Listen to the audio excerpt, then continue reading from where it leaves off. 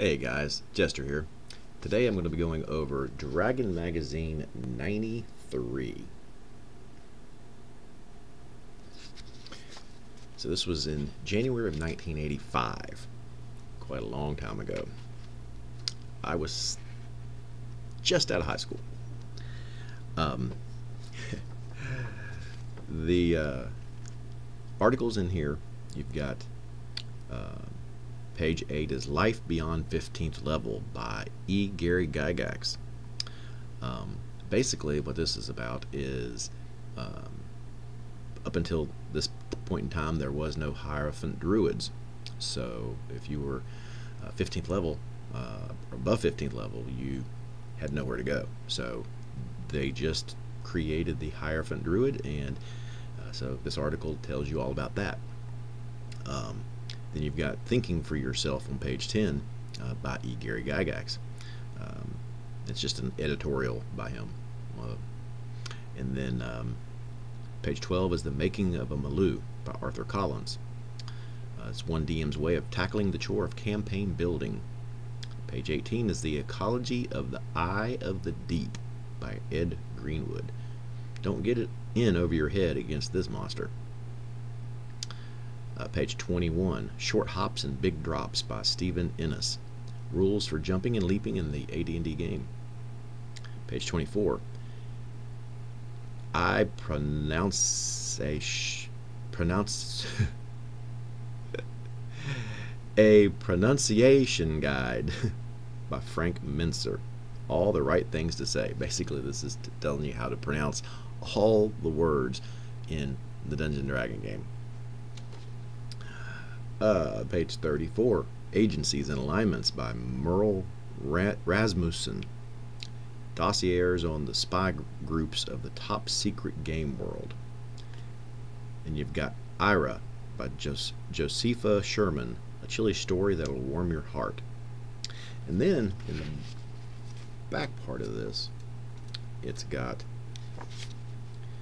a section for sci-fi RPGs. And in, this, you've got Ares Log on page 70, the Marvel File by Jeff Grubb, talk about the Avengers uh, on page 71, New Ships for Old, Stefan Jones, redesigning starships in the Space Opera game on page 74, New Brotherhoods, Peter C. Zielinski, page 78. This talks about minor cryptic alliances in the Gamma World game uh, the Scenery of Science Fiction by Kim Eastland and Dan Sample on page 80. Prize winning science fiction miniature dioramas. Uh, Rare Wines and Ready Cash on page 82 by Tony Watson. Agricultural Trade in the Frontier.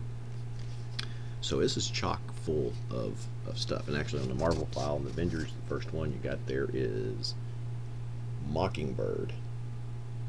Okay, so really cool um, Dragon magazine. But what we're going to be going over today is page 43, The Gypsy Train, designed by Richard Fischera. Wanderers and their wagons for use in the AD&D adventure settings. Now, basically, this is what the first page artwork looks like there, guys. Okay.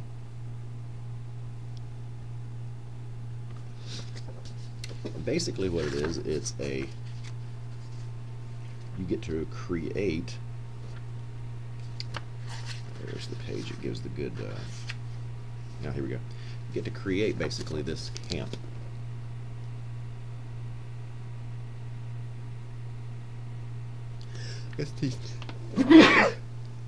oh, excuse me, thank you. Um, and how you do that is with cutouts. Okay, so basically you can. There's enough cutouts on these two pages to do three wagon trains and the horses, um, but you can just um, photocopy, you know, more of these and cut them out and make as many as you want. Um, the reason that, uh, and, and that's pretty much the gist, the, the gist of, um, of, of that article. It just tells you you know, it, it, it give, I mean, it tells you a little bit, gives you a little bit of um, characters in here like you um, you meet you meet yeah, you meet this girl here tells you a little bit about her and um, she's a wood elf um, and this guy here you know you see so you got some NPCs in there as well that you can add to the campaign but the reason I'm doing that I wanted to go over this is because um, some of you may know, uh, I don't, don't, know how many of you do, but I'm a, am uh, a writer, a freelance writer for an RPG company called GUI Cube. Uh, they produce uh, Dungeons and Dragons products. That's fifth edition, but they produce Dungeons and Dragons products, and uh, they currently have a, a campaign going called the Red Star Rising campaign. They currently are up to chapter five, which chapter five is what I wrote. Um, the first four chapters are already published, and chapter five is in print right now, so uh, it won't, won't be long before that comes out. But in chapter one, called The Darkest Dream, um, you actually have a, um, a setup in there. Uh, basically, the pretty much the most most of the um, of that chapter, uh, you are in a gypsy camp. They're basically a traveling um, troupe of performers, um, and so um, a lot bulk of the adventure is in that setting, and for dungeon masters that like to try to you know create um, you know terrain and all that that sort of thing, it can be quite expensive having to you know one it's hard to find uh, wagon trains you know it looks like gypsy gypsy style uh, in miniatures miniatures anyway. And then once you can find something like that it, usually usually you find it on Etsy. Um, it's real expensive. And you know so trying to get the tents and and and you know then the carts and all that stuff I mean because the in in darkest dream uh, in darkest dream here you've got a lot of tents and a lot of carts and so just to create that one thing, uh, that one setup, which is like I said, is, is you'll be using for for the majority of that first chapter. Uh, it, it, quite expensive. So this is a very inexpensive way to create at least the the um, the wagon trains and the, the, wagon train itself. Um, you still have to figure out how to do the tents, um, but um, but that, that that shouldn't be too hard. You could you could do that with toothpicks and and, um, and uh, paper, you know, as well. Um, and then you know you do, you can color these you know with crayons or, or, or the, the, the little felt mark not felt markers whatever the water watercolor markers is. You know once you've print once you've uh, copied them out and everything or cut them out of the book here.